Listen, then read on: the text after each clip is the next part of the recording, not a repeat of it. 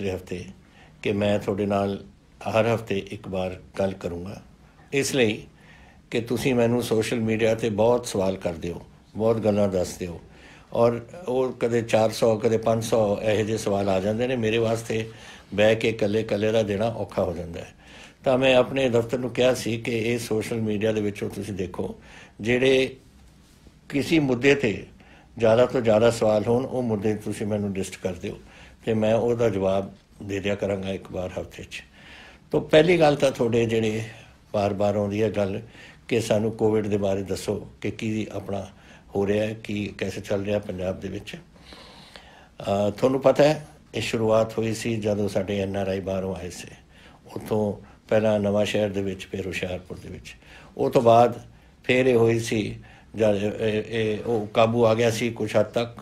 ਫਿਰ ਸਾਡੇ ਜਿਹੜੇ ਆਏ ਸੀ ਇੱਥੋਂ ਨੰਦੇੜ ਸਾਹਿਬ ਤੋਂ ਅ, ਨੰ- ਉੱਥੋਂ ਜਦੋਂ ਕੋਈ ਤਕਰੀਬਨ ਚਾ- 4200 ਦਾ ਬੰਦੇ ਉੱਥੋਂ ਆਏ ਸੀ 3000 ਤੋਂ ਉੱਪਰ ਆਏ ਸੀ ਰਾਜਸਥਾਨ 'ਚ ਜਿਹੜੇ ਸਾਡੇ ਬੰਦੇ ਗਏ ਸੀ ਉੱਥੇ ਅ, ਸਰੋਂ ਵੱਢਣ ਵਾਸਤੇ ਔਰ ਕੁਝ ਆਏ ਸੀ ਇੰਦਲੇ ਪਾਸਿਓਂ ਆਪਣੇ ਕੋਟਾ ਤੋਂ ਜੋ ਉੱਥੇ ਆਪਣੇ ਕੋਰਸ ਵਗੈਰਾ ਕਰ ਰਹੇ ਸੀ ਉਥੋਂ ਆਗੇ ਸੇ ਕੋਈ 17 18 ਬੰਦੇ ਜਿਹੜੇ ਏਜੰਟ ਪੋਜ਼ਿਟਿਵ ਨਿਕਲੇ।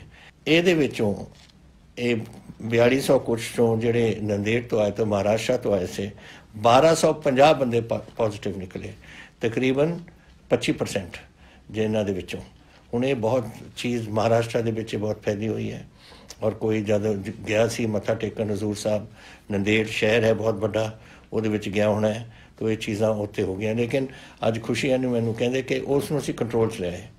ਲੋਕ ਅਸੀਂ ਕੁਆਰੰਟਾਈਨ ਕੀਤੇ ਉਹਨਾਂ ਦੀ ਬੜੀ ਟੈਸਟਿੰਗ ਕੀਤੀ, ਉਹਨਾਂ ਦਾ ਇਲਾਜ ਵਗੈਰਾ ਕੀਤਾ ਔਰ ਬਹੁਤ ਹੱਦ ਤੱਕ ਇਹ ਕੰਟਰੋਲ 'ਚ ਆਇਆ ਹੋਇਆ ਹੈ ਇਸ ਵੇਲੇ। ਸਾਡੇ ਖੁਸ਼ੀ ਇਸ ਗੱਲ ਦੀ ਹੈ ਕਿ ਜਿਹੜੇ ਮੈਂ ਤੁਹਾਨੂੰ ਦੱਸਿਆ ਸੀ ਇੱਕ ਵਾਰ ਕਿ ਜਿਹੜੇ ਇਹ ਜਦੋਂ ਸਪਾਈਕ ਆਈ ਸੀ ਨਾ ਨੰਦੇੜ ਤੋਂ ਮਹਾਰਾਸ਼ਟਰ ਤੋਂ ਜਿਹੜੇ ਲੋਕ ਆਏ ਸੀ, ਉਹ ਚਲੇ ਗਿਆ ਸੀ 905 ਤੱਕ। ਜਿਹੜੇ ਬੰਦੇ ਇੱਕਦਮ ਤੁਹਾਡੀ ਸਪਾਈਕ ਇਹੋ ਜੀ ਆਈ ਕਿ 905 ਦੇ ਕਰੀਬ ਪੇਸ਼ੈਂਟ ਤੁਹਾਡੇ ਪੋਜ਼ਿਟਿਵ ਨਿਕਲੇ ਉਹਦੇ 'ਚ। ਹੁਣ ਉਹ ਸਾਰਾ ਕੰਟਰੋਲ 'ਚ ਆ ਗਿਆ। ਉਹਨਾਂ ਵਿੱਚੋਂ ਕਈ ਤਾਂ ਵਾਪਸ ਉਹਨਾਂ ਦੇ ਇਲਾਜ ਹੋ ਕੇ ਘਰਾਂ ਚਲੇ ਗਏ ਥੋੜੇ ਜਿਹੇ ਰਹਿ ਗਏ। ਅੱਜ ਮੈਂ ਸਮਾਂ ਉਹਦੇ ਵਿੱਚੋਂ 17 ਬੰਦੇ ਸੇ, ਕਪੂਰਥਲਾ, ਰਾਣਾ ਗੁਰਜੀਤ ਜੀ ਨੇ ਉਥੋਂ ਉਹਨਾਂ ਨੂੰ ਹਸਪੀਟਲ ਤੋਂ ਲੈ ਕੇ ਉਹਨਾਂ ਨੂੰ ਵਿਦਾ ਆਪਣੇ ਪਿੰਡਾਂ ਨੂੰ ਕੀਤਾ। ਉਹ ਉਹ ਠੀਕ ਹੋ ਰਹੇ ਨੇ ਉੱਥੇ। ਅੱਜ ਜਿਹੜੇ ਸਾਡੇ ਰਿਕਾਰਡ ਚ ਆਉਂਦੇ ਡੇਲੀ ਉਹ ਇਹ ਹੈ ਕਿ 13 ਮਈ ਨੂੰ ਉਹ ਜਿਹੜੇ ਨ- 900 ਦੇ ਕਰੀਬ ਸੀ ਉਹ 13 10 ਤੇ ਪਹੁੰਚ ਗਿਆ। ਬ- 14 ਮਈ ਨੂੰ 11 ਅੱਜ 13 ਔਰ ਟੋਟਲ ਸਾਡਾ 1932 ਅਹ, ਕ- ਸਾਡੇ ਕੋਵਿਡ ਸ਼ੁਰੂ ਤੋਂ ਹੀ ਜਦ ਤੋਂ ਸ਼ੁਰੂ ਹੋਇਆ 1932 ਬੰਦਿਆਂ ਨੂੰ ਹੋਇਆ ਸੀ। ਲੇਕਿਨ ਹੁਣ ਇਹ 10 11 13 ਇਸ ਲਾਈਨ ਤੇ ਚੱਲਦਾ ਔਰ ਇੱਕ ਸਪਾਈਕ ਜਦੋਂ ਆਇਆ ਸੀਗਾ ਜਿਹੜੇ ਮ- ਮਹਾਰਾਸ਼ਟਰ ਆਏ ਥੇ ਜਾਂ ਰਾਜਸਥਾਨ ਤੋਂ ਆਏ ਸੀ ਉਦੋਂ ਵੀ ਸਾਡਾ 7 8 6 ਇਸ ਤਰੀਕੇ ਨਾਲ ਚੱਲ ਰਿਹਾ ਸੀ। ਹਿੰਦੁਸਤਾਨ ਤੋਂ ਸਭ ਤੋਂ ਘੱਟ। ਔਰ ਇਹ ਆંકੜੇ ਦੇਖੋ, ਇਹ ਇਹ ਬੜੇ ਬੜੇ ਮੈਂ ਤੁਹਾਨੂੰ ਦੱਸਣਾ ਇਸ ਲਈ ਚਾਹੁੰਦਾ ਹਾਂ, ਕਿਉਂਕਿ ਸਾਡੇ ਸਭ ਤੋਂ ਜ਼ਿਆਦਾ ਜਿਹੜੇ ਐਨ ਆਰ ਆਈ ਨੇ ਦੁਨੀਆ ਦੇ ਵਿੱਚ, ਉਹ ਹੈ ਜਾਂ ਤਾਂ ਤਾਮਿਲਨਾਡੂ ਤੋਂ, ਜਾਂ ਗੁਜਰਾਤ ਤੋਂ, ਜਾਂ ਪੰਜਾਬ ਤੋਂ। ਔਰ ਅੱਜ ਤਾਮਿਲਨਾਡੂ ਦੇ ਵਿੱਚ 10108 ਤੁਹਾਡੇ ਮਰੀਜ਼ ਨੇ ਇਸ ਇਸ ਬਿਮਾਰੀ ਦੇ, ਗੁਜਰਾਤ ਦੇ ਵਿੱਚ 9932 ਔਰ ਪੰਜਾਬ ਦੇ ਵਿੱਚ 1932 ਤੋ ਦੇਖੋ ਕਿੱਥੋਂ ਕਿੱਥੇ ਤਾਈਂ ਇਹ ਆ ਗਿਆ ਕੰਮ। ਜਿਹੜੇ ਮੌਤਾਂ ਹੋਈਆਂ ਨੇ, ਮਹਾਰਾਸ਼ਟਰ, ਆਪਣੇ ਗੁਜਰਾਤ ਦੇ ਵਿੱਚ 606 ਤਾਮਿਲਨਾਡੂ ਵਿੱਚ 71 ਔਰ ਆਪਣੇ 32 ਆਪਾਂ 2% ਹੈ ਉਹਦੇ ਕਰੀਬ। ਔਰ ਤੀਸਰਾ, ਜਿਹੜਾ ਡਬਲਿੰਗ ਹੁੰਦੀ ਹੈ ਨਾ ਕਿ ਹਰ ਕਿੰਨੇ ਦਿਨਾਂ ਬਾਅਦ ਅਗਰ ਅੱਜ 10 ਨੇ ਤਾਂ 20 ਕਦੋਂ ਹੋ ਜਾਣਗੇ ਜਾਂ 30 ਕਦੋਂ ਜਾਂ ਉਹ 20 ਤੋਂ ਫਿਰ 40 ਕਦੋਂ ਹੋ ਜਾਣਗੇ? ਉਹ ਪੰਜਾਬ ਦੇ ਵਿੱਚ 44 ਦਿਨਾਂ ਬਾਅਦ ਇਹ ਡਬਲਿੰਗ ਹੋ ਰਹੀ ਹੈ, ਜਿੱਥੇ ਮਹਾਰਾਸ਼ਟਰ ਵਿੱਚ 11 ਦਿਨਾਂ ਬਾਅਦ ਔਰ ਤਾਮਿਲਨਾਡੂ ਵਿੱਚ 9 ਦਿਨਾਂ ਬਾਅਦ। ਤੋਂ ਗੈਪ ਵੀ ਹੈ, ਬਿਮਾਰੀ ਵੀ ਅਸੀਂ ਕਾਬੂ ਕਰ ਰਹੇ ਹਾਂ ਔਰ ਇਹ ਚੀਜ਼ਾਂ ਬੜੀਆਂ ਅਹਿਮ ਹੁੰਦੀਆਂ ਨੇ ਇਸ ਬਿਮਾਰੀ ਦੇ ਵਿੱਚ। ਮਹਾਰਾਸ਼ਟਰ ਦੇਖ ਲਓ ਕਿੰਨੀ ਬੁਰੀ ਤਰ੍ਹਾਂ ਫਸਿਆ ਹੋਇਆ ਇਸ ਕੰਮ 'ਚ। 19100 ਬੰਦਿਆਂ ਨੂੰ ਕੋਵਿਡ ਹੋਇਆ ਹੋਇਆ ਹੈ। ਔਰ 1066 ਦੀ ਮੌਤਾਂ ਹੋਈਆਂ ਨੇ। ਇਹ ਬੜੀ ਸਾਨੂੰ, ਔਰ 11 11 11 ਦਿਨ ਚ ਡਬਲਿੰਗ ਇਹ ਕਰ ਰਹੇ ਨੇ। ਤੋਂ ਸਾਡਾ ਪੰਜਾਬ ਦਾ ਇਹ ਆંકੜੇ ਬਹੁਤ ਸਹੀ ਆ ਰਹੇ ਨੇ ਇਸ ਵੇਲੇ। ਲੇਕਿਨ ਇਹ ਸਾਰੀ ਤੁਹਾਡੀ ਮਿਹਰਬਾਨੀ ਹੈ। ਦੇਖੋ, ਅਸੀਂ ਤਾਂ ਕਹਿ ਸਕਦੇ ਹਾਂ, ਮੈਂ ਤੁਹਾਨੂੰ ਬੇਨਤੀ ਕਰ ਸਕਦਾ ਅੰਤ ਵਿੱਚ ਤਾਂ ਤੁਸੀਂ ਉਹ ਕਰਨਾ ਹੈ। ਤੁਸੀਂ ਉਹ ਜਿਹੜੀਆਂ ਚੀਜ਼ਾਂ ਅਸੀਂ ਦਸੀਆਂ ਨੇ ਤੁਹਾਨੂੰ ਕਿ ਸੋਸ਼ਲ ਡਿਸਟੈਂਸਿੰਗ ਰੱਖੋ, ਹੱਥ ਧੋ ਵਗੈਰਾ ਜੋ ਡਾਕਟਰ ਕਰਦੇ ਨੇ, ਤੁਸੀਂ ਕਰ ਰਹੇ ਹੋ। ਤਾਂ ਹੀ ਆ ਕੰਮ ਐਸੇ ਬਣ ਰਿਹਾ ਹੈ। ਔਰ ਇਸ ਕਰਕੇ ਮੈਂ ਸੋਚਿਆ ਕਿ ਕਈ ਚੀਜ਼ਾਂ ਆਪਾਂ ਨੂੰ ਕਰਨੀਆਂ ਚਾਹੀਦੀਆਂ ਨੇ ਜੋ ਜੋ ਮੈਂ ਥੋੜੀ ਦੇਰ ਬਾਅਦ ਤੁਹਾਨੂੰ ਦੱਸੂਗਾ। ਲੇਕਿਨ ਇਹ ਕੁਝ ਹੋਰ ਇਹਦੇ ਥੋੜੇ ਸਵਾਲ ਸੇ। ਜੈਸੇ 50 ਹਜ਼ਾਰ ਬੰਦੇ ਅੱਜ ਸਾਨੂੰ ਪੰਜਾਬ ਛੱਡ ਕੇ ਬਿਹਾਰ ਤੋਂ, ਝਾਰਖੰਡ ਤੋਂ ਯੂਪੀ ਤੋਂ ਵਾਪਸ ਆਪਣੇ ਘਰਾਂ 'ਚ ਜਾਂ ਉੱਤਰਾਖੰਡ ਤੋਂ ਜਾਣਾ ਚਾਹੁੰਦੇ ਨੇ। ਉੜੀਸਾ ਤੋਂ ਵੀ ਆਏ ਹੋਏ ਨੇ। ਤੇ ਮੈਂ ਉਹਨਾਂ ਨੂੰ ਉਹਨਾਂ ਨੂੰ ਸਾਨੂੰ, ਅਸੀਂ ਉਹਨਾਂ ਦੀ ਟ੍ਰੇਨਿੰਗ ਕਰ ਰਹੇ ਹਾਂ। ਅੱਜ ਦੇ ਅੱਜ ਦੇ ਦਿਨ ਤਕਰੀਬਨ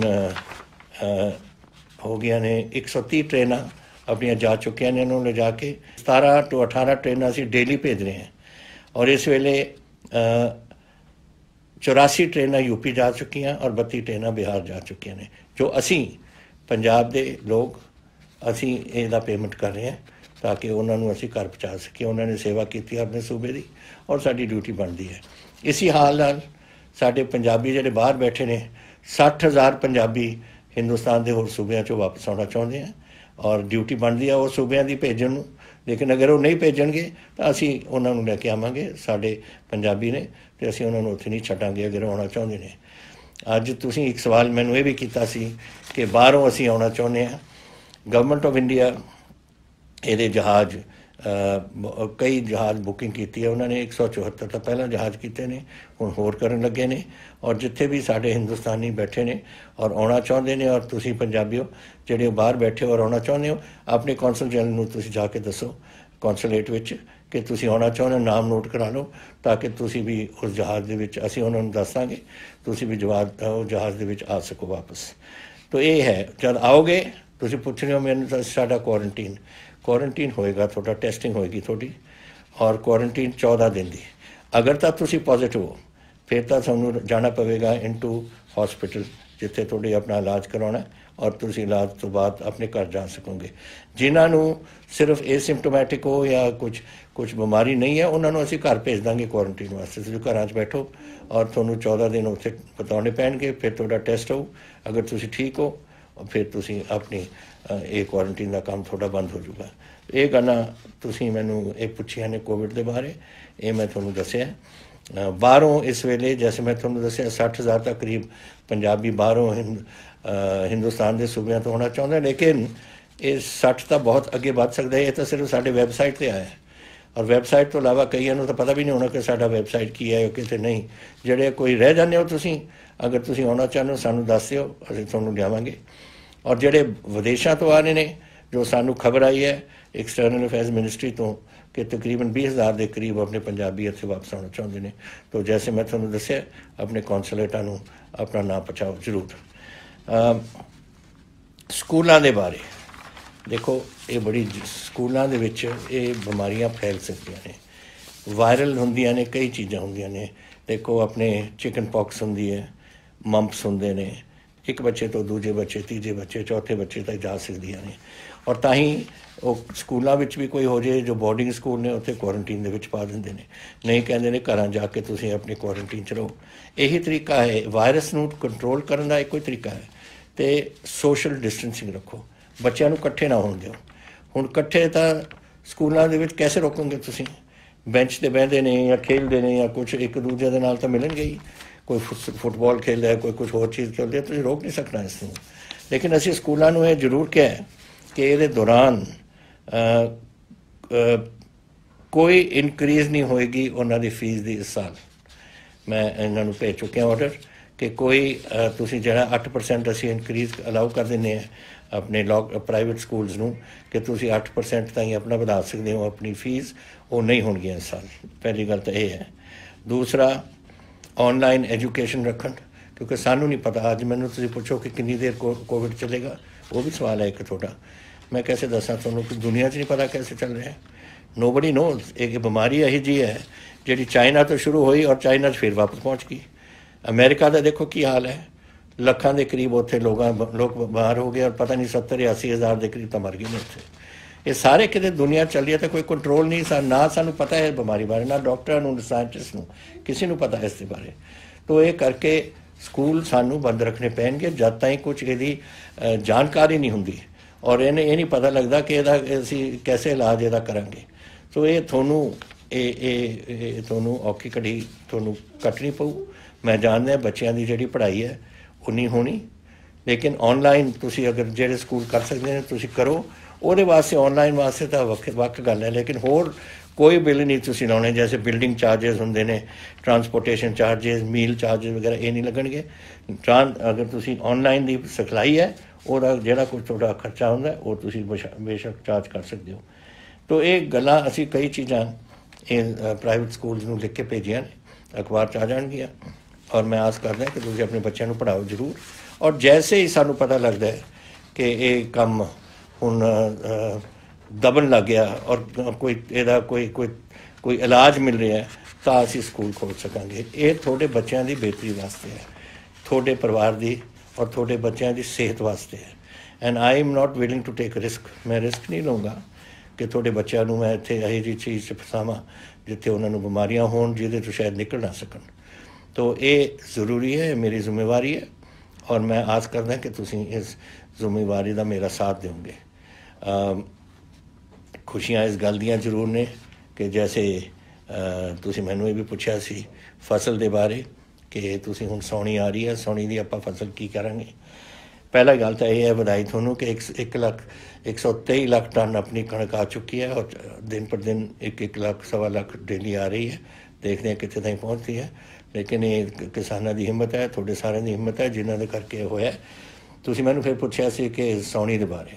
ਕਿ ਅਸੀਂ ਪਹਿਲੀ ਜੂਨ ਤੋਂ ਸ਼ੁਰੂ ਕਰਨਾ ਚਾਹੁੰਦੇ ਹਾਂ। ਪਹਿਲੀ ਜੂਨ ਤੋਂ ਤੁਸੀਂ ਕਰੋਗੇ ਨਾ, ਝੋਨੇ ਨੂੰ ਸ਼ੁਰੂ, ਉਹ ਤਾਂ ਅਗਸਤ ਦੀ ਅਖੀਰ ਦੇ ਸ- ਪਹਿਲੀ ਹਫ਼ਤੇ ਸਪਟੈਂਬਰ ਦੇ ਵਿੱਚ ਪੱਕ ਜੂਗੀ, ਤੁਸੀਂ ਕੱਟੋਗੇ ਕੈਸੇ? ਵੱਢੋਗੇ ਕੈਸੇ? ਉਹਦੀ ਮੋਇਸਚਰ ਲੈਵਲ ਇਨੀ ਹਾਈ ਹੋ ਜਾਣੀ। ਇਸ ਕਰਕੇ ਇਹ ਨਾ ਤੁਸੀਂ ਗਲਤੀ ਕਰ ਬੈਠਣਾ। ਅਸੀਂ 10 ਤਰੀਕ ਤੁਹਾਨੂੰ ਦਿੱਤੀ ਹੈ। ਅਗਰ ਤੁਸੀਂ ਪਹਿਲੀ ਜੂਨ ਤੋਂ ਲਿਆਉਂਦੇ ਹੋ, ਤਾਂ ਤੁਹਾਡੀ ਪ- 25 ਅਗਸਤ ਤਾਈਂ ਪੱਕ ਜਾਣੀ ਹੈ। ਜਦ ਸਭ ਤੋਂ ਜ਼ਿਆਦਾ ਬਾਰਿਸ਼ ਉਦੋਂ ਹੁੰਦੀ ਹੈ। ਕਿ ਇਹਦਾ ਫਾਇਦਾ ਕੀ ਹੈ? ਦੱਸੋ। ਪਹਿਲਾਂ ਸ਼ੁਰੂ ਕਰਨ ਤੋਂ। ਤਾਂ ਤੁਸੀਂ ਇਹ ਮੇਰੀ ਗੱਲ ਮੰਨੋ। 10 ਜੂਨ ਠੀਕ ਟਾਈਮ ਹੈ, ਉਹ ਫਿਰ ਸਪਟੈਂਬਰ ਵਿਚਾਲੇ ਜਾ ਕੇ ਇਹ ਪੱਕੂਗੀ, ਉਦੋਂ ਤੁਸੀਂ ਇਸ ਨੂੰ ਵਾਢੀ 'ਚ ਲੱਗ ਸਕਦੇ ਹੈ ਔਰ ਮੰਡੀ 'ਚ ਆ ਸਕਦੇ ਹੈ ਤਾਂ ਇਹ ਗੱਲ ਮੈਂ ਤੁਹਾਨੂੰ ਇਹ ਦੱਸਣਾ ਚਾਹੁੰਦਾ ਸੀ, ਹੋਰ ਥੋੜੇ ਸਵਾਲ ਸੇ?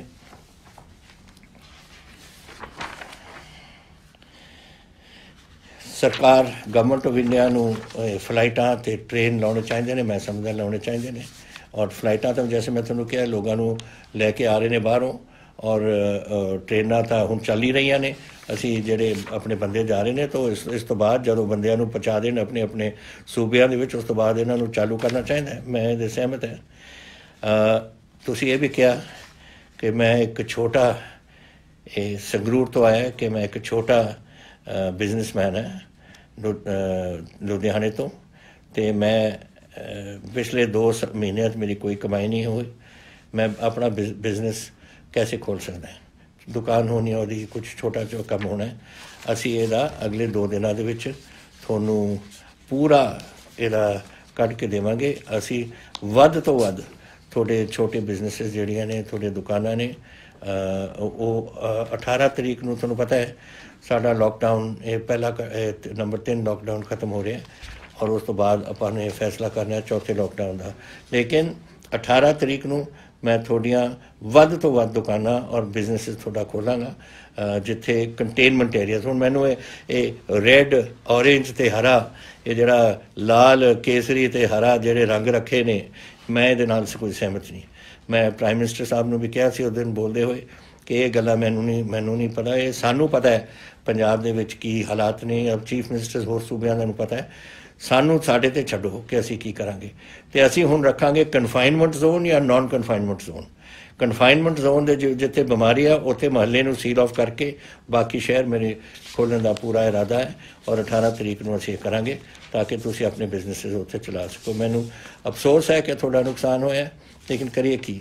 ਇਹ ਤਾਂ ਸਾਡੇ ਸਾਰਿਆਂ ਦੇ ਹੱਥ ਤੋਂ ਬਾਹਰ ਸੀ ਗੱਲ ਔਰ ਅਸੀਂ ਪਹਿਲਾਂ ਮੇਰੇ ਵਾਸਤੇ ਪੰਜਾਬੀਆਂ ਦੀ ਜਾਨ ਦਾ ਖਤਰਾ ਸੀ, ਉਹ ਦੂਰ ਕਰਨਾ ਸੀ।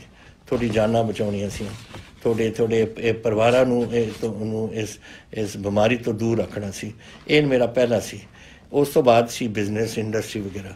ਲੇਕਿਨ ਹੁਣ ਸਮੇਂ ਆ ਗਿਆ, ਕਿਉਂਕਿ ਮੈਨੂੰ ਪਤਾ ਹੈ ਕਈ ਲੋਕ ਤਾਂ ਜੋ ਦੁਕਾਨਾਂ ਤੋਂ ਕਮਾਉਂਦੇ ਨੇ, ਉਹੀ ਖਾਂਦੇ ਨੇ। ਤੇ ਇਸ ਤਰੀਕੇ ਨਾਲ 2 ਹਫ਼ਤੇ 2 ਮਹੀਨੇ ਤਾਂ ਬਹੁਤ ਲੰਬਾ ਹੋ ਜਾਂਦਾ ਹੈ ਅਰਸਾ ਅਰਸਾ। ਤੋਂ ਇਸ ਕਰਕੇ ਇਹਦਾ ਅਸੀਂ 18 ਤਰੀਕ ਨੂੰ ਐਲਾਨ ਕਰਾਂਗੇ, ਤਾਂ ਕਿ ਤੁਸੀਂ ਆਪਣੇ ਵੀ ਉੱਥੇ ਕੰਮ ਚਲਾ ਸਕੋ। ਲੌਂਗ ਟਰਮ ਇਫੈਕਟ ਤੁਸੀਂ ਪੁੱਛਿਆ, ਇਹ ਜਲੰਧਰ ਤੋਂ ਆਇਆ ਹੈ ਰਿਸ਼ੀ ਮਲੋਤਕਰ ਜੀ ਦਾ ਸਵਾਲ ਕਿ ਲੌਂਗ ਟਰਮ ਇਫੈਕਟ ਕੋਵਿਡ ਦਾ ਸਾਡੇ ਤੇ ਕੀ ਹੈ? ਮੈਂ, ਦੇਖੋ, ਇਹ ਇੱਕ ਬਿਮਾਰੀ ਹੈ। ਹਰ ਬਿਮਾਰੀ ਤੋਂ ਜਿਹੜਾ ਲੰਘ ਜਾਂਦਾ ਹੈ, ਉਹ ਫਿਰ ਠੀਕ ਹੋ ਜਾਂਦਾ ਹੈ। ਠੀਕ ਹੋ ਜਾਂਦਾ ਹੈ ਤਾਂ ਸਿਹਤ ਠੀਕ ਹੋ ਜਾਂਦੀ ਹੈ। ਔਰ ਵਾਹਿਗੁਰੂ ਕਰੇ, ਇਹ ਬਿਮਾਰੀ ਕੋਈ ਲੌਂਗ ਟਰਮ ਕੋਈ ਅਸਰ ਨਾ ਪਵੇ ਕਿਸੇ ਤੇ। ਤੁਸੀਂ ਠੀਕ ਹੋ ਜਾਓਗੇ, ਜੋ ਪਤਾ ਲੱਗ ਰਿਹਾ ਜੋ ਇੱਥੇ ਦੇ ਪੰਜਾਬ ਦੇ ਵਿੱਚ ਵੀ, ਅੱਜ ਵੀ ਮੈਂ ਗੱਲ ਕਰ ਰਿਹਾ ਸੀ ਕਪੂਰਥਲੇ 'ਚ।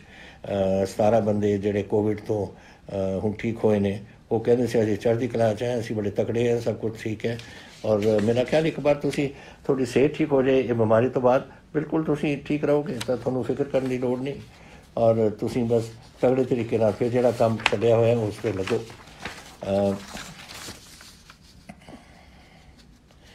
ਇੰਡਸਟਰੀਅਲਿਸਟ ਦਾ ਇੱਕ ਹੋਰ ਆਇਆ ਕਿ we are not getting chance to open factories factories ਥੋੜੀਆਂ ਖੁਲਾਤੀਆਂ ਵੱਡੀਆਂ। ਜਿਹੜੀਆਂ ਜਿਹੜੀਆਂ ਜਿਹੜੇ ਨਾਨ ਨਾਨ ਰੈੱਡ ਜ਼ੋਨ ਜਿਹੜਾ ਕੰਟੇਨਮੈਂਟ ਜ਼ੋਨ ਦੇ ਵਿੱਚੋਂ ਉਹ ਤਾਂ ਖੁੱਲ ਗਈਆਂ ਨੇ। ਬਾਕੀ ਮੈਂ ਤੁਹਾਨੂੰ 18 ਨੂੰ ਜਿਹੜੇ ਛੋਟੇ ਬਿਜ਼ਨੈਸਸ ਕਿਤੇ, ਜਿਹੜੇ ਲੋਕ ਕਹਿੰਦੇ ਨੇ ਕਿ ਉਹ ਔਰੇਂਜ ਜ਼ੋਨ ਜਾਂ ਰੈੱਡ ਜ਼ੋਨ ਹੈ ਜਿਹੜੀ ਮੈਂ ਚੱਕ ਦਿੱਤੀ ਹੈ, ਮੈਂ ਤਾਂ ਕਹਿੰਦਾ ਹੈ ਕਿ ਕਨਫਾਈਨਮੈਂਟ ਜ਼ੋਨ ਹੈ ਜਾਂ non containment zone containment zone ਵਿੱਚ ਜਿੱਥੇ ਮੁਹੱਲਾ ਹੈ ਉਸ ਨੂੰ ਆਈਸੋਲੇਟ ਕਰਾਂਗੇ, ਇਹਦੇ ਇੱਕ ਬਫਰ ਜ਼ੋਨ ਛੱਡ ਦਾਂਗੇ ਔਰ ਬਾਕੀ ਅਸੀਂ ਸਭ ਕੁਝ ਖੋਲ ਦਾਂਗੇ। ਤਾਂ ਔਰ ਇਹੀ ਮੈਂ ਪ੍ਰਾਈਮ ਮਿਨਿਸਟਰ ਸਾਹਿਬ ਨੂੰ ਕਿਹਾ ਸੀ। ਕਿ ਤੁਸੀਂ ਇਸ ਕੰਮ ਦਾ ਸਾਨੂੰ ਛੁੱਟ ਦਿਓ ਤਾਂ ਕਿ ਅਸੀਂ ਸਾਨੂੰ ਪਤਾ ਹੈ ਸਾਡੇ ਵਿੱਚ ਕਿਸੇ ਆ ਸਾਡੇ ਡਿਪਟੀ ਕਮਿਸ਼ਨਰ ਸਾਡੀ ਐਡਮਿਨਿਸਟ੍ਰੇਸ਼ਨ ਆਪੀ ਸਾਂਭੂਗੀ ਇਸ ਨੂੰ। ਇਹ ਵਾਰੀ ਕਰਨ ਦੀ ਲੋੜ ਨਹੀਂ। ਲੇਕਿਨ ਮੈਂ ਚਾਹੁੰਦਾ ਕਿ ਜ਼ਿਆਦਾ ਤੋਂ ਜ਼ਿਆਦਾ ਸਾਡੀ ਕਾਮਰਸ ਵਧੇ ਸਾਡੀ ਬਿਜ਼ਨਸ ਵਧੇ ਸਾਡੀ ਇੰਡਸਟਰੀ ਵਧੇ ਔਰ ਸਾਡੇ ਲੋਕਾਂ ਦੀ ਨੌਕਰੀਆਂ ਵਧਣ ਔਰ ਤੁਹਾਡੇ ਆਮਦਨ ਦੇ ਸਾਧਨ ਬਣਨ। ਇਹ ਹੁਣ ਉਸ ਕੰਮ ਤੇ ਆ ਗਏ ਅਸੀਂ ਔਰ ਉਸ ਕੰਮ ਤੇ ਅਸੀਂ ਪੂਰਾ ਜ਼ੋਰ ਤੁਹਾਡੇ ਨਾਲ ਅਹ, ਲੱਗਣਾ ਹੈ। ਜਿਹੜੀ ਤੁਸੀਂ ਦੋ ਗੱਲਾਂ ਕਹੀਆਂ ਸੀ ਇੰਡਸਟਰੀ ਵਾਸਤੇ ਸਟਿਮੂਲਸ ਜਾਂ ਹੈਲਪ ਈਐਮਆਈ ਵਗੈਰਾ ਇਹ ਗਵਰਨਮੈਂਟ ਆਫ ਇੰਡੀਆ ਦੇ ਹੱਥ ਵਿੱਚ ਹੈ। ਅਸੀਂ ਇਹਦੇ ਬਾਰੇ 26 ਮਾਰਚ ਨੂੰ ਮੈਂ ਇੱਕ ਚਿੱਠੀ ਲਿਖ ਚੁੱਕੇ ਹਾਂ ਪ੍ਰਾਈਮ ਮਿਨਿਸਟਰ ਨੂੰ ਔਰ ਮੈਂ ਉਸ ਨੂੰ ਫਾਲੋ ਅਪ ਕਰਾਂਗਾ ਕਿ ਜਿਹੜੇ ਹੁਣ ਤੁਸੀਂ ਐਲਾਨ ਕਰ ਰਹੇ ਹੋ ਇਹਨੇ ਕਿ 20 ਲੱਖ ਕਰੋੜ ਅਸੀਂ ਪੂਰੇ ਹਿੰਦੁਸਤਾਨ 'ਚ ਦੇਣਾ ਹੈ, ਉਹ ਉਹਨਾਂ ਕਿ ਕੀ ਦੇਣਾ ਹੈ ਕੈਸੇ ਦੇਣਾ ਹੈ ਕੀ ਕੁਝ ਕਰਨਾ ਹੈ ਉਹ ਅਸੀਂ ਲਿਖ ਰਹੇ ਹਾਂ ਲੈਟਰ ਇੱਕ ਮੈਂ 20 ਮਾਰਚ ਨੂੰ ਇਸ ਤੋਂ ਬਹੁਤ ਪਹਿਲਾਂ ਇੱਕ ਮੈਂ ਲੈਟਰ ਲਿਖ ਚੁੱਕਿਆ ਸੀ ਜੋ ਮੈਂ ਠੀਕ ਸਮਝਦਾ ਸੀ ਕਿ ਗੱਲਾਂ ਹੋਣੀਆਂ ਚਾਹੀਦੀਆਂ ਨੇ। ਹੁਣ ਇਹਨਾਂ ਦੀ ਅਨਾਉਂਸਮੈਂਟ ਤੋਂ ਬਾਅਦ, ਦਿੱਲੀ ਦੀ ਅਨਾਉਂਸਮੈਂਟ ਤੋਂ ਬਾਅਦ ਮੈਂ ਉਹ ਗੱਲਾਂ ਨੂੰ ਇੱਕ ਅਮਲੀ ਜਾਮਾ ਬਣਾ ਕੇ ਇਹ ਮੈਂ ਲਿਖਣਾ ਚਾਹੁੰਦਾ ਹਾਂ ਦੁਬਾਰਾ ਕਿ ਫਲਾਣੀ ਫਲਾਣੀ 1 2 3 4 ਇਹ ਪੁਆਇੰਟਸ ਬਣਾ ਕੇ ਕਿ ਇਹਨਾਂ ਦੇ ਵਿੱਚ ਤੁਸੀਂ ਸਾਡੀ ਇਸ ਇਸ ਤਰੀਕੇ ਨਾਲ ਹੈਲਪ ਕਰ ਸਕਦੇ ਹੋ, ਜੋ ਤੁਸੀਂ ਐਲਾਨ ਕੀਤਾ ਹੈ। ਆਈ ਐਗਰੀ ਵਿਦ ਯੂ ਜਿਹੜੀ ਤੁਸੀਂ ਗੱਲ ਕਹੀ ਹੈ ਕਿ ਐਡੀਸ਼ਨਲ ਫਸਲ ਦਾਣਾ ਵਗੈਰਾ, ਖਾਣਾ ਵਗੈਰਾ ਦੇਣਾ ਚਾਹੀਦਾ ਹੈ ਗਰੀਬਾਂ ਵਾਸਤੇ। ਔਰ ਤੁਹਾਨੂੰ ਇਹ ਬੁਰਾ ਲੱਗਦਾ ਹੈ, ਬੁਰਾ ਤਾਂ ਮੈਨੂੰ ਵੀ ਲੱਗਦਾ ਹੈ। ਲੇਕਿਨ ਜਿਹੜਾ ਬੱਚਾ, ਬੰਦਾ ਆਪਣੇ ਬੱਚੇ ਨੂੰ ਰੋਟੀ ਨਹੀਂ ਖਵਾ ਸਕਦਾ, ਉਹ ਫਿਰ ਸਾਡੀ ਡਿਊਟੀ ਬਣ ਜਾਂਦੀ ਹੈ। ਤੁਹਾਨੂੰ ਪਤਾ ਕਿੰਨਾ ਅਸੀਂ ਦੇ ਚੁੱਕੇ ਹਾਂ ਇਸ ਵੇਲੇ? 1 ਕਰੋੜ ਪੈਕੇਟ ਅਸੀਂ ਦੇ ਚੁੱਕੇ ਹਾਂ 3 ਕਰੋੜ ਦੀ ਆਪਣੀ ਆਬਾਦੀ ਹੈ। ਲੇਕਿਨ ਹਾਲੇ ਵੀ ਲੋਕਾਂ ਨੂੰ ਪੂਰੀ ਰੋਟੀ ਨਹੀਂ ਮਿਲ ਰਹੀ। ਕਿਉਂਕਿ ਇਹ ਜਿਹੜੇ ਮਾਈਗ੍ਰੈਂਟ ਲੇਬਰ ਹੈ ਜਾਂ ਆਪਣੀ ਲੇਬਰ ਹੈ ਜਾਂ ਬੀਪੀਐਲ ਸਾਡੀ ਫੈਮਿਲੀਆਂ ਨੇ, ਹੁਣ ਮਾਈਗ੍ਰੈਂਟ ਲੇਬਰ ਤਾਂ 13 ਲੱਖ ਬੈਠੀ ਹੈ। ਉਹ ਜਦੋਂ ਉਹਨਾਂ ਨੂੰ ਕੋਈ ਨੌਕਰੀ ਨਾ ਮਿਲੇ, ਤਾਂ ਫਿਰ ਉਹ ਵਿਚਾਰੇ ਰੋਟੀ ਖਾਣਗੇ ਕਿੱਥੋਂ? ਤਾਂ ਦਿਹਾੜੀਦਾਰ ਨੇ ਸਾਰੇ। ਇਸ ਕਰਕੇ ਸਾਨੂੰ ਰੋਟੀ ਦੇਣੀ ਪੈ ਰਹੀ ਹੈ ਔਰ ਚੱਲ ਰਹੀ ਹੈ। ਇਸ ਵੇਲੇ ਬੰਦ ਨਹੀਂ ਹੋ ਰਹੀ। ਅਸੀਂ ਬੰਦ ਨਹੀਂ ਕਰਾਂਗੇ। ਅਸੀਂ ਜਿਹੜਾ ਭੁੱਖਾ ਮੈਂ ਪਹਿਲਾਂ ਕਿਹਾ ਇੱਕ ਵਾਰ, ਪੰਜਾਬ ਦੇ ਵਿੱਚ ਅਸੀਂ ਕਿਸੇ ਨੂੰ ਭੁੱਖੇ ਸੌਣ ਨਹੀਂ ਦੇਣਾ। ਔਰ ਇਹੀ ਗੱਲ ਤੇ ਅਸੀਂ ਜੋ ਕੁਝ ਲੋੜ ਹੈ ਸਾਨੂੰ, ਇਹ ਗਰੀਬਾਂ ਦੀ ਮਦਦ ਕਰਨ ਵਾਸਤੇ ਇਹ ਸਾਡੀ ਸਾਰਿਆਂ ਦੀ ਡਿਊਟੀ ਬਣਦੀ ਹੈ ਔਰ ਸਰਕਾਰ ਦੀ ਡਿਊਟੀ ਬਣਦੀ ਹੈ ਕਿ ਉਹਨਾਂ ਨੂੰ ਅਸੀਂ ਪੂਰਾ, ਉਹਨਾਂ ਦਾ ਰਾਸ਼ਨ ਪਾਣੀ ਸਾਰਾ ਦੇ ਸਕੀਏ। ਤੁਸੀਂ ਫਿਰ ਕਿਹਾ ਸੀ ਕਿ ਪੰਜਾਬ ਟਰਾਂਸਪੋਰਟ ਕਦੋਂ ਰਿਜ਼ਿਊਮ ਹੋ ਜਾਏਗੀ। ਇਹ ਮੈਂ ਤੁਹਾਨੂੰ ਦੱਸਦਾ ਅ- 18 ਤਰੀਕ ਤੋਂ ਅਸੀਂ ਨੂੰ ਰਿਜ਼ਿਊਮ ਕਰਾਂਗੇ ਅ, ਜਿੱਦਣ ਇਹ ਕੋਵਿਡ ਪਹਿਲਾਂ ਹੋਏਗਾ। ਹੁਣ ਮੈਂ ਕੋਵਿਡ ਦੇ ਬਾਰੇ ਤੁਹਾਨੂੰ ਇੱਕ ਗੱਲ ਦੱਸਣਾ ਚਾਹੁੰਦਾ ਕਿ 18 ਤਰੀਕ ਨੂੰ ਇਹ ਜਿਹੜਾ ਲਾਕਡਾਊਨ ਸੀ ਨੰਬਰ 3 ਲਾਕਡਾਊਨ ਇਹ ਬੰਦ ਹੋਣਾ ਹੈ। ਪਤਾ ਨਹੀਂ ਗਵਰਨਮੈਂਟ ਆਫ ਇੰਡੀਆ ਕੀ ਅਨਾਉਂਸ ਕਰ ਰਹੀ ਹੈ ਨਹੀਂ ਅਨਾਉਂਸ ਕਰ ਰਹੀ। ਲੇਕਿਨ ਮੈਂ ਇਸ ਗੱਲ ਨੂੰ ਅੱਗੇ ਲੈ ਕੇ ਜਾਵਾਂਗਾ। ਮੈਂ ਕਰਫਿਊ ਹਟਾ ਦੇਣੀ ਹੈ। ਕੋਈ ਕਰਫਿਊ ਨਹੀਂ ਹੋਏਗਾ ਪੰਜਾਬ 'ਚ 18 ਤਰੀਕ ਤੋਂ। ਲੇਕਿਨ ਲਾਕਡਾਊਨ ਅਸੀਂ ਰੱਖਾਂਗੇ। ਇਹ ਥੋੜੀ ਹਿੰਮਤ ਔਰ ਇਹ ਲਾਕਡਾਊਨ ਦਾ ਹੈ ਕਿ ਸਾਡੇ ਪੰਜਾਬ ਅੱਜ ਬਚਿਆ ਹੋਇਆ ਹੈ। ਅੱਜ ਹੁਣ ਜਿਹੜੇ ਦੇਖੋ, ਅਗਰ 60000 ਲੋਕ ਬਾਹਰੋਂ ਆ ਜਾਣ ਤੇ 20 ਲੱਖ ਵਿਦੇਸ਼ਾਂ ਤੋਂ ਆ ਜਾਣ ਤੇ ਸਾਨੂੰ ਉਹਦਾ ਧਿਆਨ ਰੱਖਣਾ ਪਊ। ਅਸੀਂ ਉਹਨਾਂ ਨੂੰ ਕੁਆਰੰਟਾਈਨ ਚ ਪਾਵਾਂਗੇ ਸਾਰਿਆਂ ਨੂੰ। ਲੇਕਿਨ ਫਿਰ ਵੀ ਕੁਝ ਘੁੰਮਦੇ ਨੇ। ਔਰ ਜਦ ਅਸੀਂ ਆਉਂਦੇ ਨੇ, ਉਦੋਂ ਤਾਂ ਲੱਗਦੇ ਨੇ ਪੋਜ਼ਿਟਿਵ ਹਫ਼ਤੇ ਬਾਅਦ 10 ਦਿਨ ਬਾਅਦ ਫਿਰ ਉਹਨਾਂ ਨੂੰ ਕੋਈ ਬਿਮਾਰੀ ਲੱਗ ਜਾਂਦੀ ਕਿਉਂਕਿ ਇਹ ਬਿਮਾਰੀ ਪੰਜਵੇਂ ਔਰ ਸੱਤਵੇਂ ਧਰਮ ਦਿਨ ਦੇ ਦਰਮਿਆਨ ਇਹ ਦਿਖ- ਦਿਖਦੀ ਹੈ, ਜਿਹਨੂੰ ਲੱਗ ਜਾਂਦੀ ਹੈ, ਪਹਿਲੇ ਦਿਨ ਤਾਂ ਠੀਕ ਹੁੰਦਾ ਤਾਂ ਜਦ ਪਾਲਮ ਆ ਜੇ, ਉਦੋਂ ਤਾਂ ਠੀਕ ਲੱਗਦਾ ਹੈ, ਉਦੋਂ ਟੈਸਟ ਵੀ ਕਲੀਅਰ ਹੋਣਗੇ, ਲੇਕਿਨ ਹਫ਼ਤੇ 10 ਦਿਨ ਬਾਅਦ ਫਿਰ ਹੋ ਸਕਦਾ, ਫਿਰ ਕੀ ਕਰਾਂਗੇ? ਤੋ ਇਸ ਕਰਕੇ ਸਾਨੂੰ ਲੋਕਡਾਊਨ ਰੱਖਣਾ ਪਊ, ਜਦ ਤੱਕ ਸਾਰੇ ਪੰਜਾਬੀ ਘਰ ਨਹੀਂ ਆਉਂਦੇ ਲੇਕਿਨ ਮੈਂ ਉਹਦੇ ਚ ਰਾਹਤ ਬੜੀ ਦੇਵਾਂਗਾ ਮੈਂ ਰਾਹ ਦੇਵਾਂਗਾ ਲੇਕਿਨ ਤੁਸੀਂ ਮੇਰਾ ਹੁਣ ਸਾਥ ਤੁਹਾਨੂੰ ਦੇਣਾ ਪਊ। ਦੇਖੋ, ਮੈਂ ਨਹੀਂ ਚਾਹੁੰਦਾ ਕਿ ਇਹ ਬਿਮਾਰੀ ਬ- ਜ਼ਿਆਦਾ ਫੈਲੇ ਇੱਥੇ। ਔਰ ਤੁਸੀਂ ਵੀ ਤੰਗ ਹੋ। ਤੰਗੀ ਹੋ ਤੰਗੀ ਤੰਗੀ ਇਹ ਜਿਹੜੀ ਲੋਕਡਾਊਨ ਦੀ ਹੁੰਦੀ ਹੈ, ਇਹ ਲੋਕਾਂ ਨੂੰ ਤੰਗ ਕਰਨ ਦੀ ਉਹ ਗੱਲ ਹੈ। ਲੇਕਿਨ ਇਹ ਤੁਹਾਡੀ ਸਿਹਤ ਵਾਸਤੇ ਹੈ। ਔਰ ਤੁਸੀਂ ਮੇਰਾ ਸਾਥ ਦਿੱਤਾ ਮੈਂ ਤੁਹਾਨੂੰ ਬੇਨਤੀ ਕੀਤੀ ਸੀ, ਔਰ 2 ਮਹੀਨੇ ਤੁਸੀਂ ਮੇਰਾ ਸਾਥ ਦੇ ਕੇ ਆਪਾਂ ਪੰਜਾਬ ਬਚਾ ਲਿਆ। ਹੁਣ ਮੇਰੀ ਇੱਕ ਤੁਹਾਨੂੰ ਬੇਨਤੀ ਹੋ ਰਿਹਾ ਕਿ ਮੈਂ 30 31 ਮਈ ਤਾਈਂ ਇਸ ਨੂੰ ਫੇਰ ਲੈ ਕੇ ਜਾਊਂਗਾ। ਬੜੀ ਰਾਹਤ ਮਿਲੇਗੀ ਉਹਦੇ 'ਚ, ਲੇਕਿਨ ਤੁਸੀਂ ਮੇਰਾ ਸਾਥ ਦੇਣਾ ਹੈ ਤਾਂ ਕਿ ਇਹ ਹੋਰ ਫੈਲੇ ਨਾ। ਇਹ ਜਿਹੜੇ ਲੋਕ ਆਉਣਗੇ 60000 ਇੱਕ ਔਰ 2 20000 ਹੋਰ 80000 ਹੋਰ ਲੋਕ ਪੰਜਾਬ ਦੇ ਵਿੱਚ ਆਉਣਗੇ, ਅਗਰ ਇਹ ਲਿਆਉਣਗੇ, ਇਸ ਨੇ ਥੋੜਾ ਕੰਟਰੋਲ ਆਪਾਂ ਨੂੰ ਰੱਖਣਾ ਪਊ। ਔਰ ਵਾਹਿਗੁਰੂ ਕਰੇ 31 ਮਾਰਚ ਤਾਈਂ ਆਪਾਂ ਨੂੰ ਫਿਰ ਅੱਗੇ ਜਾਣ ਦੀ ਲੋੜ ਨਾ ਪਵੇ, ਅਗਰ ਆਪਾਂ ਕੰਟਰੋਲ ਕਰ ਸਕੀਏ। ਔਰ ਕੰਟਰੋਲ ਕਰਨਾ ਔਰ ਇਹਦਾ ਸੰਭਾਲ ਕਰਨੀ ਇਹ ਤੁਹਾਡੇ ਹੱਥ ਦੇ ਵਿੱਚ ਹੈ। ਤਾਂ ਮੈਂ ਆਸ ਕਰਦਾ ਕਿ ਤੁਸੀਂ ਮੇਰੀ ਗੱਲ ਫੇਰ ਮੰਨੋਗੇ ਇੱਕ ਵਾਰ ਔਰ ਆਪਾਂ ਆਪਣੇ ਪੰਜਾਬ ਨੂੰ ਇਸ ਬਿਮਾਰੀ ਤੋਂ ਕੱਢੀਏ ਔਰ ਆਪਾਂ ਉਸ ਨੂੰ ਬਚਾਈਏ। ਇੱਕ ਸਵਾਲ ਤੁਸੀਂ ਕੀਤਾ ਸੀ ਕਿ ਗਵਰਨਮੈਂਟ ਦੇ ਵਿੱਚ ਤੁਸੀਂ ਰਿਕਰੂਟਮੈਂਟ ਕਰੋਗੇ ਜਾਂ ਨਹੀਂ। ਇਹ ਤੁਹਾਨੂੰ ਪਤਾ ਹੈ ਕਿ ਅਸੀਂ ਅਸੀਂ ਆਪਣੇ ਪਿਛਲੇ ਬਜਟ ਸੈਸ਼ਨ ਦੇ ਦੌਰਾਨ ਐਲਾਨ ਕੀਤਾ ਸੀ ਕਿ ਅਸੀਂ 1 ਲੱਖ ਨੌਕਰੀਆਂ ਇਹਦੇ ਵਿੱਚ, ਇਸ ਸਾਲ ਦੇ ਵਿੱਚ ਕਰਾਂਗੇ। ਫਿਰ ਕੋਵਿਡ ਸ਼ੋਵਿਡ ਹੋ ਗਿਆ ਸ਼ੁਰੂ। ਲੇਕਿਨ ਇਹਦਾ ਮਤਲਬ ਇਹ ਨਹੀਂ ਕਿ ਅਸੀਂ ਨਹੀਂ ਕਰਾਂਗੇ। ਇਹ ਬਿਲਕੁਲ ਕਰਾਂਗੇ। ਇਹਦੇ ਵਾਸਤੇ ਅਸੀਂ ਹੁਣ ਬਣਾ ਰਹੇ ਹਾਂ ਕਿ ਕਿਸ ਤਰੀਕੇ ਨਾਲ ਅਸੀਂ ਇਹ ਰਿਕਰੂਟਮੈਂਟ ਡਰਾਈਵ ਕਰਨੀਆਂ ਨੇ ਔਰ ਕੁਝ ਦਿਨਾਂ ਵਿੱਚ ਤੁਹਾਡੇ ਸਾਹਮਣੇ ਇਹ ਗੱਲ ਅਸੀਂ ਰੱਖਾਂਗੇ ਤਾਂ ਕਿ ਜਿਨ੍ਹਾਂ ਨੇ ਅਪਲਾਈ ਕਰਨਾ ਹੈ ਉਸ ਵਾਸਤੇ ਕਰੋ ਔਰ ਅਸੀਂ ਇੰਟਰਵਿਊਜ਼ ਵਗੈਰਾ ਦਾ ਪ੍ਰਬੰਧ ਕਰ ਰਹੇ ਹਾਂ। ਇੱਕ ਤਾਂ ਇਹ ਹੈ। ਇੱਕ ਮੁਕਲ ਚੋਪੜਾ ਜੀ ਨੇ ਪੁੱਛਿਆ ਮੈਨੂੰ ਕਿ ਜੀ ਐੱਨ ਡੂ ਯੂ ਦਾ ਐਗਜ਼ਾਮੀਨੇਸ਼ਨ ਕਦੋਂ ਰੱਖਿਆ ਜਾਵੇਗਾ। ਇਹ ਮਸਲਾ ਤਾਂ ਹੈ ਤਾਂ ਇਹ ਵਾਈਸ ਚਾਂਸਲਰ ਦਾ ਔਰ ਉਹਨਾਂ ਦੀ, ਉਹਨਾਂ ਦੇ ਆਪਣੇ ਫੈਸਲਿਆਂ ਦਾ। ਲੇਕਿਨ ਜੋ ਮੈਨੂੰ ਪਤਾ ਲੱਗਿਆ ਹੈ ਕਿ ਯੂਜੀਸੀ ਨੇ ਬੋਰਡ ਐਗਜ਼ਾਮਸ ਅਰਲੀ ਆਪਣੇ ਯੂਨੀਵਰਸਿਟੀ ਦੇ ਐਗਜ਼ਾਮਸ ਅਰਲੀ ਜੁਲਾਈ ਦੇ ਵਿੱਚ ਉਹ ਰੱਖਣਾ ਚਾਹੁੰਦੇ ਨੇ ਔਰ ਬੋਰਡ ਐਗਜ਼ਾਮ ਸੀਬੀਐਸਈ ਦੇ ਵੀ ਜੁਲਾਈ ਦੇ ਵਾਸਤੇ ਸ਼ਡਿਊਲ ਹੋਏ ਨੇ।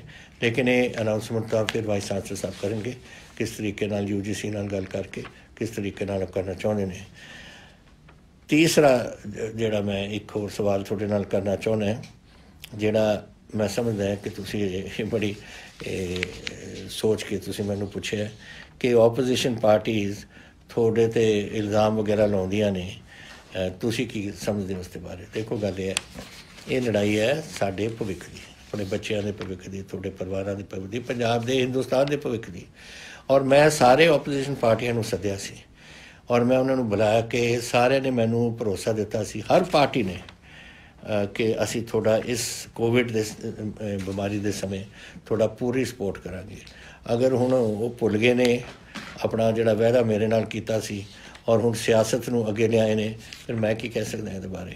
ਵੈਸੇ ਉਹਨਾਂ ਨੂੰ ਸੋਚਣਾ ਚਾਹੀਦਾ ਹੈ ਕਿ ਇਹ ਪੰਜਾਬ ਦੇ ਔਰ ਪੰਜਾਬ ਦੇ ਲੋਕਾਂ ਦਾ ਭਵਿੱਖ ਹੈ ਔਰ ਜਦੋਂ ਤਾਈਂ ਇਹ ਲੜਾਈ ਮੁੱਕਦੀ ਨਹੀਂ ਔਰ ਆਪਾਂ ਇਹਦੇ 'ਚ ਫਤਿਹ ਨਹੀਂ, ਆਪਾਂ ਇੱਥੇ ਹੋਵਾਂਗੇ, ਤਾਂ ਇਹ ਗੱਲ ਪੰਜਾਬ ਦੇ ਵਿੱਚ ਫੈਲਦੀ ਰਹੂ।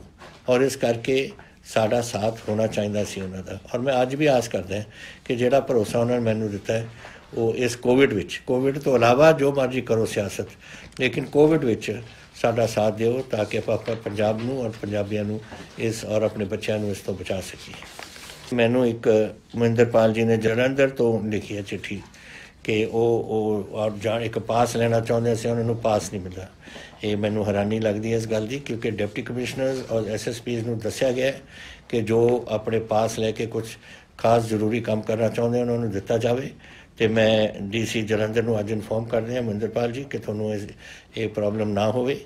ਔਰ ਇਹ ਤੁਹਾਨੂੰ ਪਾਸ ਇੱਕਦਮ ਦਿੱਤਾ ਜਾਵੇ ਤਾਂ ਕਿ ਤੁਸੀਂ ਆਪਣੇ ਫੈਮਿਲੀ ਨੂੰ ਜਲੰਧਰ ਤੋਂ ਬਠਿੰਡੇ ਪਹੁੰਚਾ ਸਕੋ। ਇਹ ਔਰ ਬਾਕੀ ਡਿਪਟੀ ਕਮਿਸ਼ਨਰ ਵੀ ਦੱਸ ਰਹੇ ਹਨ ਕਿ ਜੋ ਇਹ ਜੀ ਕੋਈ ਹੁੰਦੇ ਨੇ, ਮੰਗਾ ਹੁੰਦੀਆਂ ਨੇ, ਇਹ ਉਹਨਾਂ ਨੂੰ ਪੂਰੀਆਂ ਕਰਨੀਆਂ ਚਾਹੀਦੀਆਂ ਨੇ। ਉਹ ਅੱਜ- ਅੱਜ ਮੈਂ ਉਹਨਾਂ ਨੂੰ ਇਹ ਭੇਜ ਰਿਹਾ। ਔਰ ਅਖੀਰ ਵਿੱਚ ਇੱਕੋ ਹੀ ਗੱਲ ਰਹਿ ਗਈ ਕਰਨ ਨੂੰ, ਔਰ ਉਹ ਹੈ ਤੁਹਾਡਾ ਧੰਨਵਾਦ ਕਰਨਾ।